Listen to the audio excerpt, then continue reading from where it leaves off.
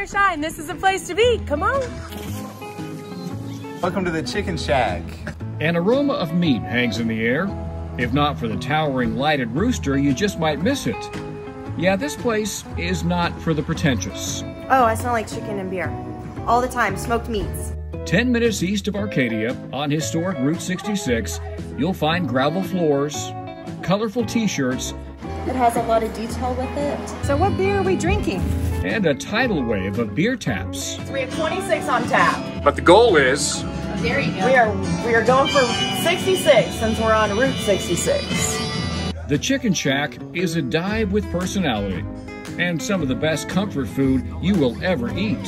gizzards and wings. Gizzards. Yeah. And they were good Oh yeah. Actually, broasted chicken is the star of this menu. But we marinate our chicken for 22 hours, so there's a very long process that goes into it. Um, our prep ladies really put their heart and soul into it. The Shack also offers hot, savory wings and tender smoked tri tip. That looks amazing! Thank you! Do you guys need anything else?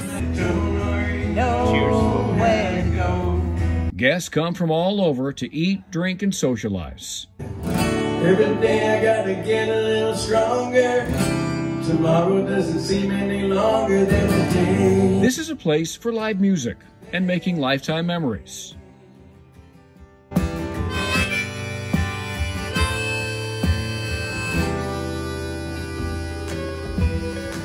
November of last year, we had our first shack wedding and it was wonderful. The couple met here, they got engaged here, and so she, she insisted that they get married here, so they did. It was fantastic.